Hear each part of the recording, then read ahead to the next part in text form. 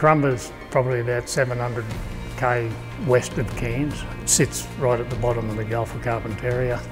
Tourism is one of Karumba's main industries.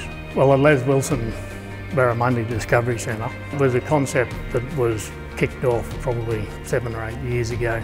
It's been a very long-term project because uh, back in the 70s when the commercial fishing industry set up the original hatchery, ever since that time there's been a, a, hope to end up with a discovery centre or an interpretive centre down the track and it's been a very very long time coming and um, the community was very much in, involved and very supportive uh, with the development of the design and the location of the, the new centre and it's just very exciting times to see it coming to fruition.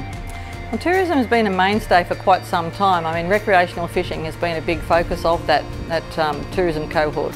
But as times change and we move on, there's becoming more and more interest in uh, development of other things um, apart from the recreational fishing uh, to attract people into the regions. And many, many other regions have got a lot of uh, lot to offer and their own stories and, and uh, history and heritage to tell and that's where we think the development of the, the Gulf and the Carpentaria Shire area is really important to, to tell those stories and to have something special for the guests that come into the area. There's been some tough times in recent years with drought, uh, not just here locally but regionally across Queensland and interstate.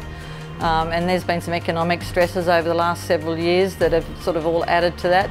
So to have some new product coming in, particularly something as, um, as significant as the Barramundi Discovery Centre, is really crucial. We're looking at employment, we're looking at um, events and activities around the centre, and uh, then businesses looking at how then they can evolve further and grow with the centre's um, own development, own story.